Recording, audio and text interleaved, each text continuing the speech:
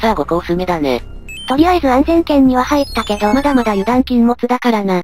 お、今回はスピランだってよ。しかもイージーってあるわ。うーん、安心させて実はめちゃくちゃ難しかったらどうしよう。とりあえずやっていこうぜ。さてやっていこう。あっとしまった。別に最初で死ななくていいからな。最初はゆっくり行けばいいのに。最初はこっちでいいよね。トゲに当たらないように。そしてターンね。最初のブロックがコインになってるんだな。うん、キノコを取ったらすぐにガリガリの下に行けばいいよね。なんだ、本当に簡単なコースなのか？まだわかんないね。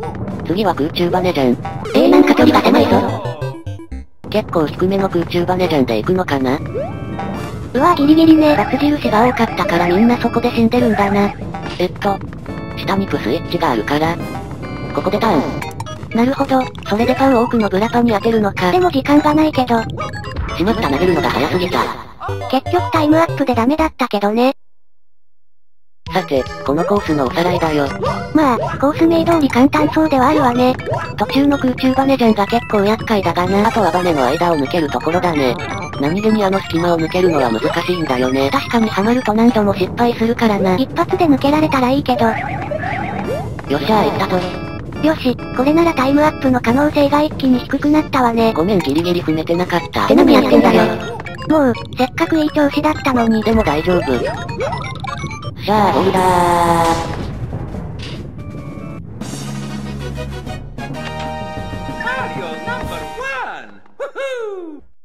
よし、この勢いのまま最終コースもやっちゃおう。まさはるくんのお散歩？誰なんだ一体？トゲコンボウってことはあのギザギザポッキーね。懐かしい表現だな。さてやっていこう。ああ、大量のトゲコンボウが。引いたら一気に進んだ方がいいかな。ええー、そのミスはないわ。ジャンプ調整が失敗しちゃった。とりあえず奥の方までずっと続いてるのかなここで間に入れば。ダメじゃねえか。わかった。このコースは一気に駆け抜けた方がいいね。確かに、30秒しかないし待ってる余裕はなさそうね。問題は全速力でギミックを避けられるかだが。あっとこれはやらかした。最後のコンベアは加速だったのね。なるほど、動き的にはどうすればいいのかわかったよ。こんな感じかな？おおいけたな。ああもうワンワンが邪魔だって。ワンワンとガリガリの間が狭かったからきつそうだな。そこだけちょっとブレーキしてみようか。よし抜けた。さあ一気に駆け抜けたいところね。ちょ、なんだこの砲弾は。このままいけそう？ゴリ押しで行くしかない。シャーボルダー。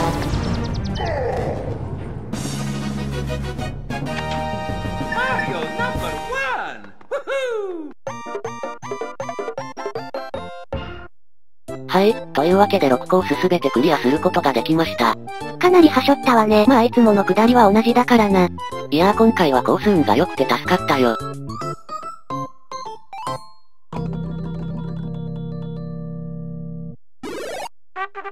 おお、ゼロスーツサムスだってよ。